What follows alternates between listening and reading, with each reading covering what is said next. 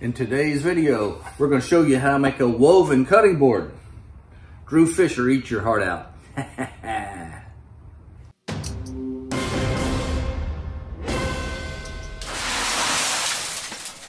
grabbed a couple of offcuts from other cutting boards and projects I made and cut them to size to be able to get them nice and smooth and ran a piece of walnut through my planer to be able to get it nice and flat so we can begin our project. Take a piece of the offcut, I've already put tape on one side of it, position it on the piece of walnut where I want it to be, and kind of strike a line so I get an approximate location of where that's going to be. I'm going to do the glue trick on the painter's tape to be able to get it to stay while I put it through the bandsaw.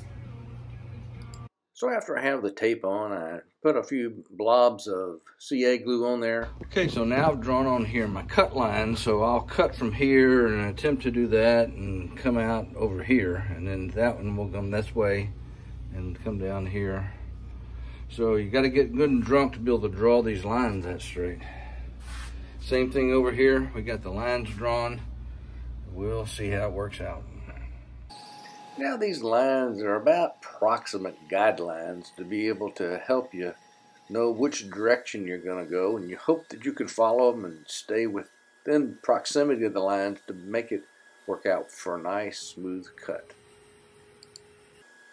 Now this is not like coloring books when somebody's going to yell at you for coloring outside the lines.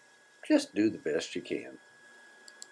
And then the second board. So this is the lines that you draw on there. So Drew Fisher's, not everybody can draw a straight line like you can, but here we are.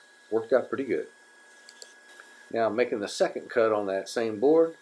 Be able to get the opposite side of that and get this odd shaped piece all carved up to a pretty shape. Okay, so this is what it looks like before you cut it and you remove these pieces here and you basically will take this guy off here and he'll be inserted there with those guys. So now the trick is put some little banding in there and glue that together. Yes, sir. So this will be board two. That guy comes off. This separates from here. And it goes in there. There we go. Here's the first glue up for each of the boards. So we have this piece here being glued in. And then we have this piece here being glued in. Okay, so I took this piece out of the clamp and we have this little bit of veneer that's hanging out of the end and that will trim those two guys off and then we'll worry about gluing up the next piece. So this guy's going to fit in here kind of like that. Here's a sample of doing a dry fit clamp up. It's important that you do that to make sure your spacer boards in between are going to be able to flex and fit into the area you want them to. So after the glue up of the first board, I take it to the bandsaw and saw off the extra length or height of the boards so I can continue to work on the next piece. Okay, for this board, I'm trying to decide how to work in this block of Padauk. It has this nice reddish texture on it, or to work in this piece, which is a straight piece, and do a straight cut across there like that for something a little bit different. I think I'm gonna start with this, be easier, make a straight cut across there, and then come back and do the other. So to make a straight cut across a diagonal on this board, I put it on my straight cut or taper jig. So now I'm gluing in this straight multicolored piece here. It's got maple, walnut, and cherry in it. And the key to doing this glue up is to make as many complicated clamping pressures as you can get. So the key to this are these two long ones to be able to hold the piece from sliding when you put these two guys on because when these squeezed, this top board would go that way and it would go up and it would be mismatched up here. So this guy and this guy prevent it from getting longer. And then these two guys are the ones that keep it together to put the pressure in here. Then we have these cauls on here in an attempt to keep it flat. So now I'll let that dry and see how it looks. Okay, so here's the two boards and I did a little quick little trim on the bandsaw to trim off the stuff that was a little high. So that's what I have so far. So I'm gonna continue to figure out how to add a couple more features in there and we'll get that done. Now I added the piece of Padauk for a little splash of red. And then I had this other piece of walnut that also has some reddish in it and put a little banding on it.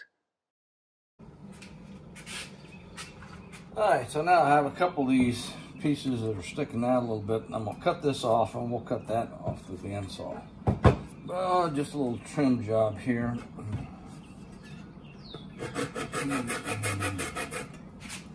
Now this is a little planer era here because we had the end grain on here and we put it through the planer. It busted it when it came back out. So this has to be cut with a table saw. We'll do a round over. We'll do something on that side there. So every good charcuterie board needs a handle. So I get out my Forstner bit, uh, one and three eighths, and I cut myself a handle. So after all the work and sanding and getting it smooth, here's what they look like before we put in the final coat of oil. And here's one of the boards. Just gorgeous.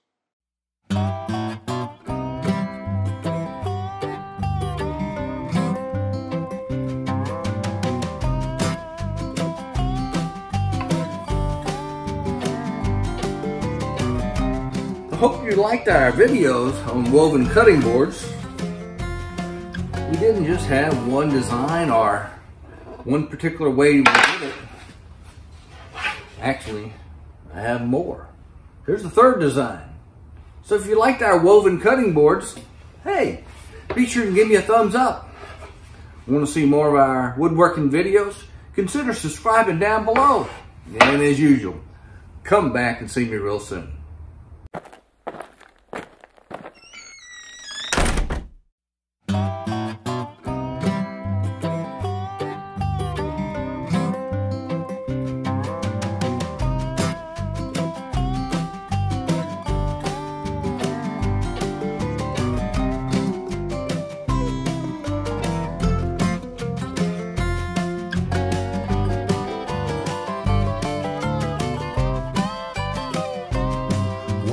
Say this cigarette's just another nail in my coffin. My lungs are shot to hell and I just can't seem to stop coughing.